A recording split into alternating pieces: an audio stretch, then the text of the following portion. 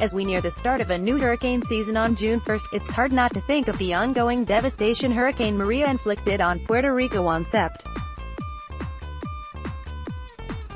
20, 2017. By the time Hurricane Maria made its way across the island, many families were left with nothing. All their personal belongings, the roof over their heads, in many cases, their livelihoods, gone.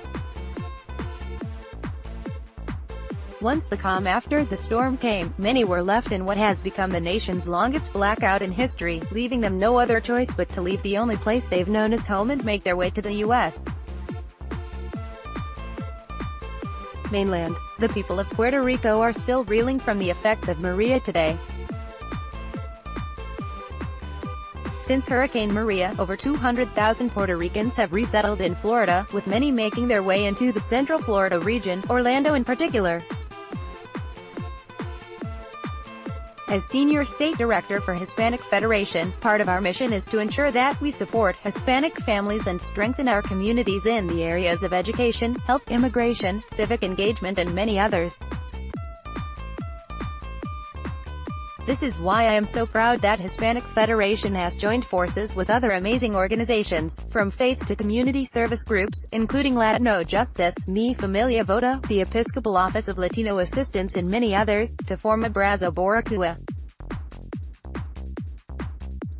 Abrazo Boricua is a new coalition designed to maximize our impact and serve as a one-stop shop to the Puerto Rican families arriving in Orlando seeking to rebuild their lives. Migrating to a new place is never easy. It takes time. Acclimating to a new community and a new way of living comes with stress and uncertainty. As a community, we hold a responsibility to come together and ensure our fellow Americans have the tools they need in order to successfully relocate to the Orlando area and become full participants in the local economy and civic society. It is our duty to help reduce barriers to employment, increase job retention and employer satisfaction, and promote economic stability and prosperity in our community. That's why Abrazo Boricua will focus its collaborative resources to assist with housing, workforce preparation, legal assistance, medical and mental health referrals, and civic engagement. It is through our combined effort that we will equip our fellow Americans from Puerto Rico with the tools they need to succeed and empower them with the knowledge to thrive.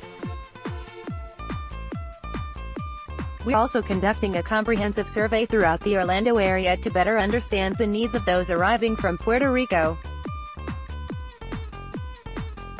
Our fellow Americans arriving from Puerto Rico need our help now more than ever.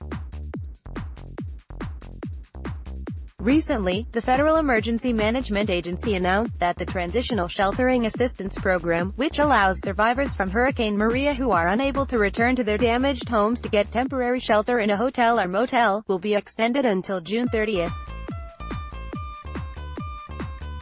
The short-term duration of TSA underscores the uncertainty and instability that these families face every day. Without more effective relief efforts on the island, these families live with the constant uncertainty that they could be on the street one week to the next. Our fellow Americans from Puerto Rico are not alone in their time of need, and as a diverse coalition of service-focused organizations, we will continue to step up, provide the resources and empower the community. We can only expect that the state and federal government do their part for our fellow Americans. Handout Betsy Franceschini Betsy Franceschini, Handout Betsy Franceschini is the Senior State Director of Southeast Florida Hispanic Federation.